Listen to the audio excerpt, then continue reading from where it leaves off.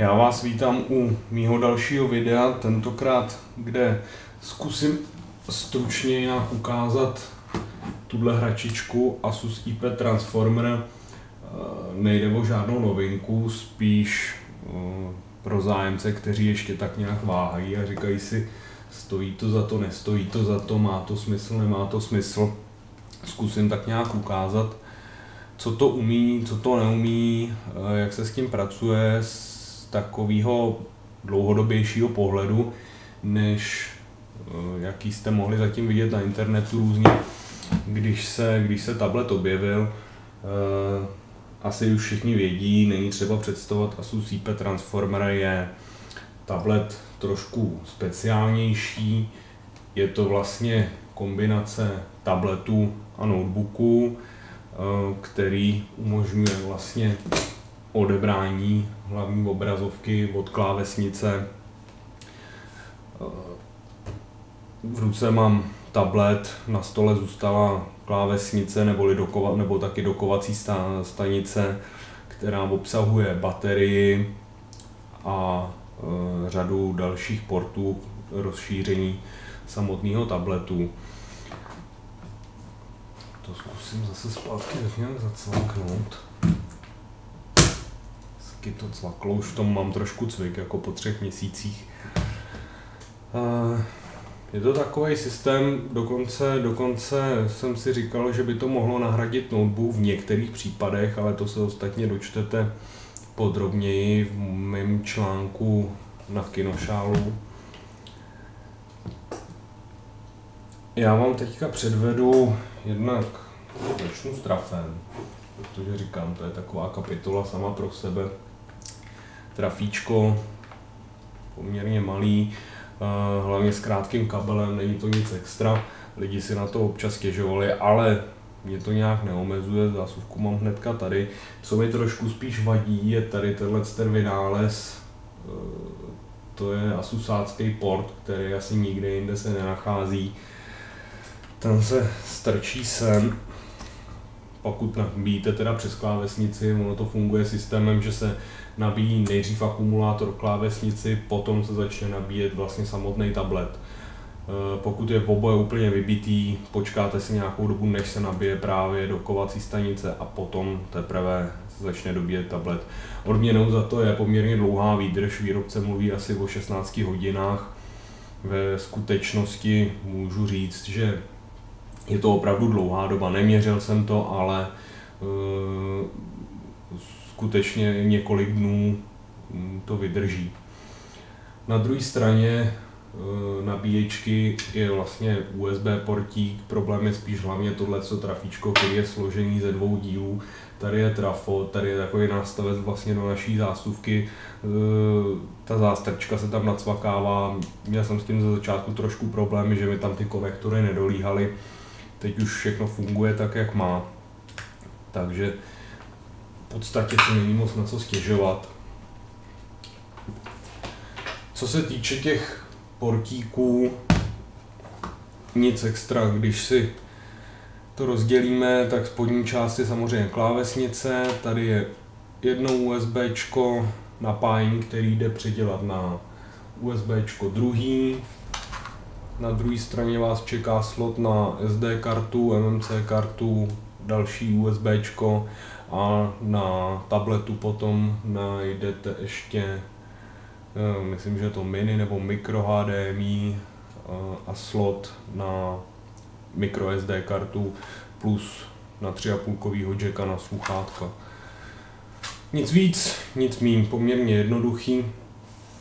Ještě jenom předvedu takovou vychytávku, ty USB mají, teďka se do toho dostat, tohle to ještě právě není, USB ještě není tak moc opotřebovaný, což má za následek, to zkusím natočit, aby to bylo vidět, že v podstatě se to samo zavírá. To je velmi šikovný, že z toho vyndáte zařízení a ono se vám to samo docvakne, zavře je to hodně nešikovný, když tam chcete něco dát. Potřebuje člověk na to trošku cvik, aby se tam dostal jednou rukou. No. přístrojek nastartujeme.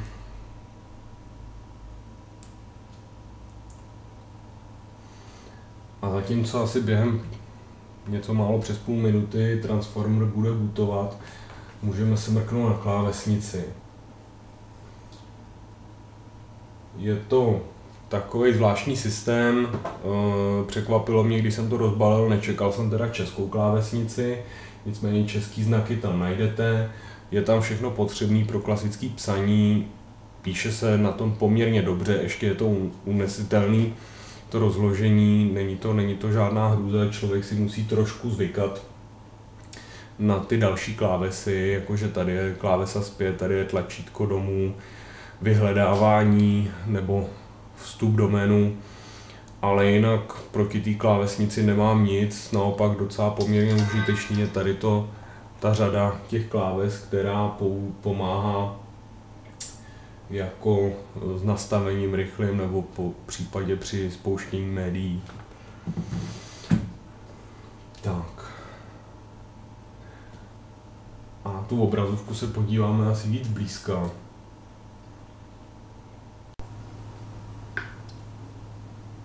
Tak, tady už je trošku líp vidět ta pracovní plocha, otomím to okolí, ten transformer, ale to snad nevadí tolik. Přivítá vás klasická obrazovka, podobně jako jste zvyklí na telefonu, s tím, že samozřejmě je to trošku upravený ten Android. Začalo to, myslím, že trojkou, na druhou stranu za tři měsíce proběhlo už asi zhruba pět aktualizací, nesledoval jsem, co z toho byl teda samotný Android a co byly aktualizace přímo od Asusu. Je to stejný jako na telefonu. Kdo zná, kdo zná Androida, tak s tím nebude mít problémy, že prostě když podrží někde prst, může si následně vybírat uh, aplikace, tapety, widgety, co si přidá na plochu. K dispozici je pět obrazovek, který jsem ještě nestihl ani zaplnit, tahle je úplně prázdná člověk se tady docela dobře vyblbne s těma velkýma widgetama. Je tu 7x8 na každý obrazovce prostor pro widgety a aplikace, čili víc než dostatek místa jako něco si tam umístit. Akorát trošku potom působí trošku divně ty widgety typu, typu Twitter, který potom nedosahuje vlastně ani konce té obrazovky na to, na jeden tweet. Co bude každýho určitě zajímat, můžeme se mrknout rovnou na zabudovaný prohlížeč. Já jsem se potom nikde nepátral, podle mě je to převlečený Google Chrome Vypadá to úplně stejně, dokonce to nabízí synchronizaci záložek z účtu Google, což je, což je poměrně sympatický. A protože samozřejmě každýho zajímají především videa, se můžeme něco vybrat.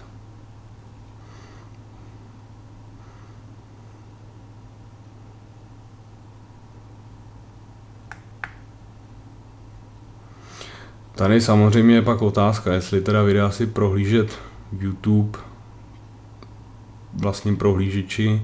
Zkusíme to schválně teďka nechat v tom webovém.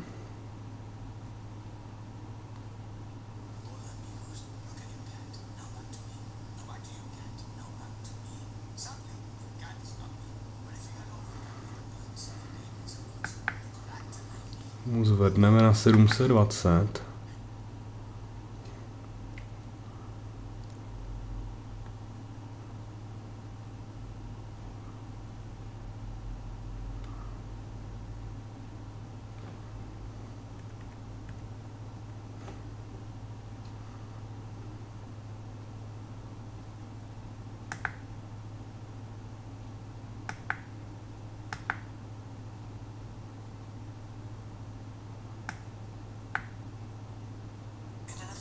Nine lifetimes in the making with a cat you cat will not like.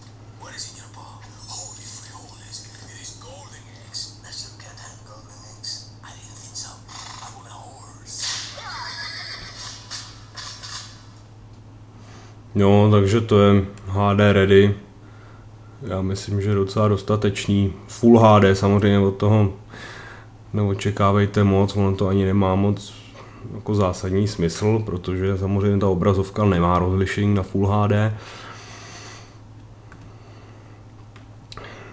Ale jinak, jinak na filmy si myslím, že je to dostatečný.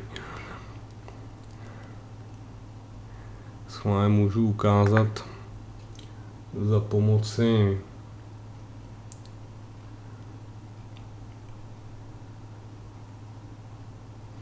za pomoci dodatečného prohlížeče no, přehrávače chcete-li.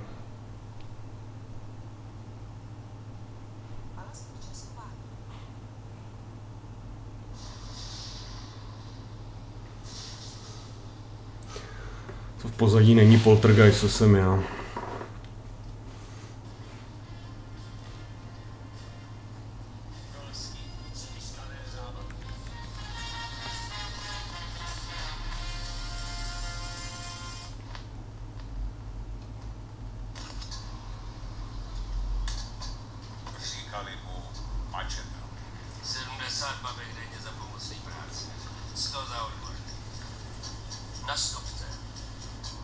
125 septik a kanalizace. Už jste někdy někoho zamordoval? Jak možná víte, nelegální přistěhovat Jo, takže i na filmy se to dá použít. Já myslím, že bez sebe menších problémů. Je to podle toho, kdo jak je náročný.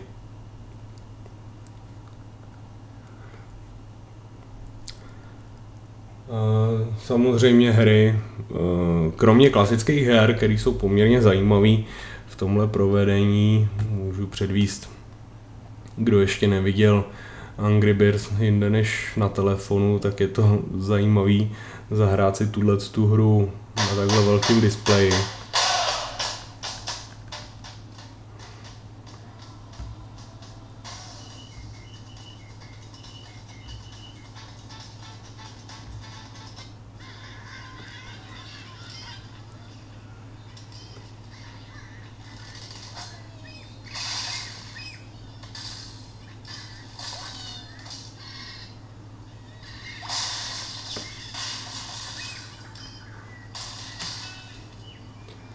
Ale samozřejmě, eh, protože celý, celý systém běží na eh, procesoru NVIDIA Tegra 2, tak k dispozici mezi aplikacemi je i tak, takový vlastní market, kde si uživatel může no, spíš než stáhnout, tak hlavně zakoupit uh, jiné hry, uh, které jsou právě určené pra, pro procesory NVIDIA.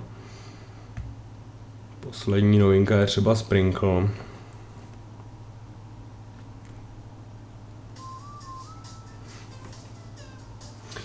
Tady schválně zkusím právě předvést. No, se vypnu. Vrátíme se zpět.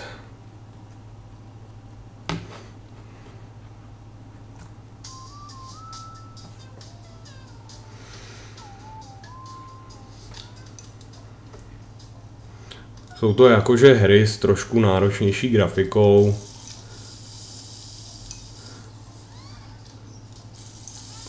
Otázka je, kdo čemu říká náročnější grafika.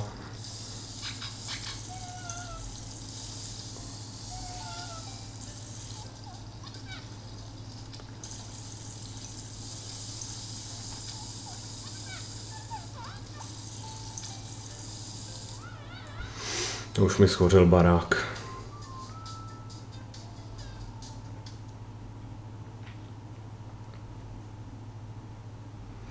Tady se potom dostáváme klasicky do nastavení, jako to znáte, jako to znáte z telefonu zase.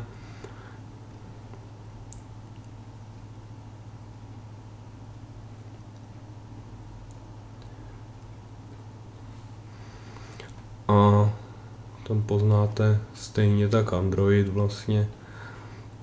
Vypadá to úplně stejně jako v jakýmkoliv jiném telefonu, čili kdo používá už nějaký androidní telefon, nebude mít určitě problém si zvyknout.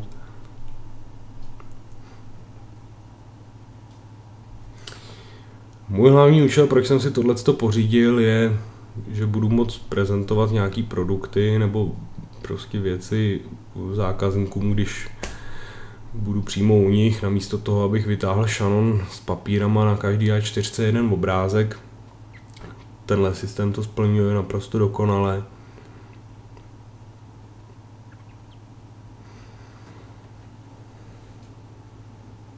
Nevím, beru třeba, když už jsme u té práce.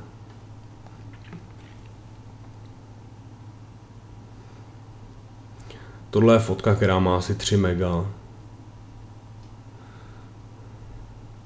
Sice to furt nic neříká o její kvalitě, ale jak vidíte, tak pohyb je poměrně rychlej.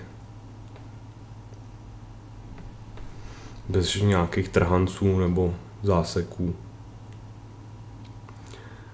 Časem si zvyknete i na to, že Transformer se občas musí zase složit. Ale není to už takový problém. Trvalo to, trvalo to zhruba týden, než jsem se to naučil takhle rychle. Co vám ještě ukážu je Android Market.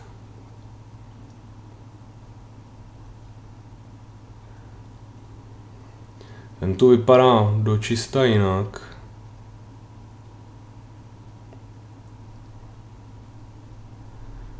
Sice to rozdělení je plus minus stejný.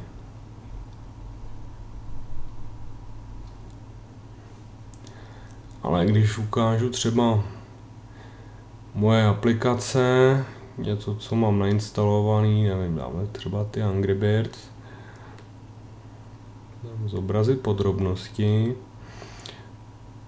Tady je to podobný jako na webu, na webových stránkách vlastně Android Marketu. Co, na co jsem ovšem tady ještě nepřišel, je kterak uh, přidat komentáře, ohodnotit hru. Tady jsou vidět jednotlivý komentáře, včetně teda hvězdíček. Můžu si tady tlačítkem je rozkliknout, kde jich potom je řada dalších.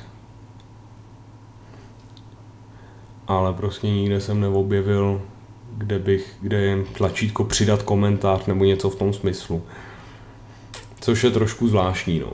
Jinak ty aplikace, zatím jsem neobjevil nic uh, zásadního, co by bránilo tomu se spustit na takhle velkým tabletu nebo na takhle velký, na takhle velký obrazovce, uh, snad jenom dvě, z toho jedno bylo Unblock Me Free, hra, která i na Sensationu běží uh, jako malý obdelníček a druhý je kamera 360, kterou jsem ukazoval taky na videu, kde Sensation díky vyššímu rozlišení než běžný telefony ostatní, tak uh, jí zobrazuje jakoby menším, no vlastně má tam černý okraje no, kolem toho. Do dneška to, do dneška to ještě neopravili. Ale jinak Zbytek 95% aplikací funguje naprosto parádně. Eh, čemu je, čemu je tablet takhle přímo stvořený. A to si ho zase teda odklopím.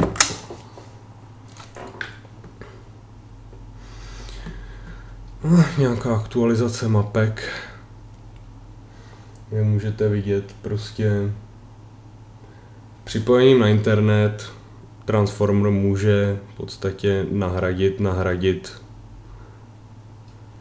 klasický autoatlas. Na hledání je to úplně ideální. Díky zabudovaný GPS je i krásně vidět, kde jste, takže odpadá orientace podle kopců, stromů a podobně.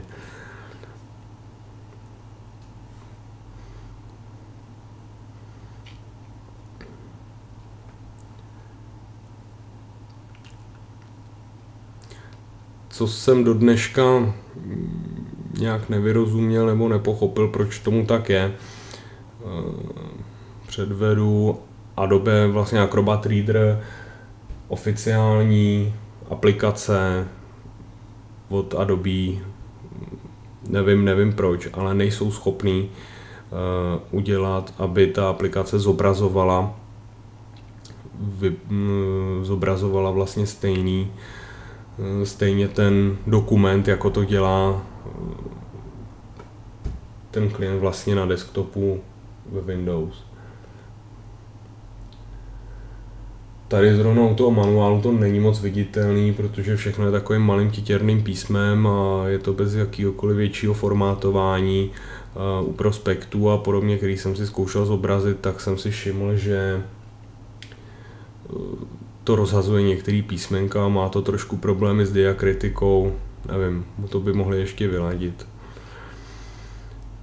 Transformer určitě není ideální na práci typu, že bych v tom musel sepisovat něco ve Wordu nebo nedej bože dělat tabulku v Excelu, ačkoliv někdo by to možná zvládnul, já bych se bez toho klidně i obešel, o to si radši nechám ten 17 palcový notebook.